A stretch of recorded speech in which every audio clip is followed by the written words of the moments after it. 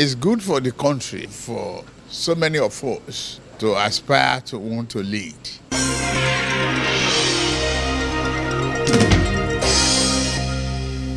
It's good for the country for, for so many of us to aspire to want to lead.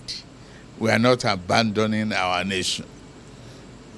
But there's only one chair and one possibility. That is the only way we can be very proud of Nigeria. It is. And uh, the president has shown a great example of leadership, gave us the freedom to say, oh, you want to run, you want to attempt, no, go ahead.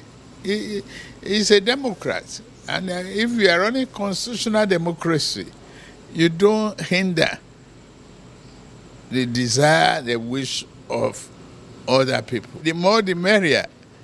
The more the king, the, the more challenging it becomes for you to think deeply, focus on issues, and be ready to serve Nigeria. It's all about service.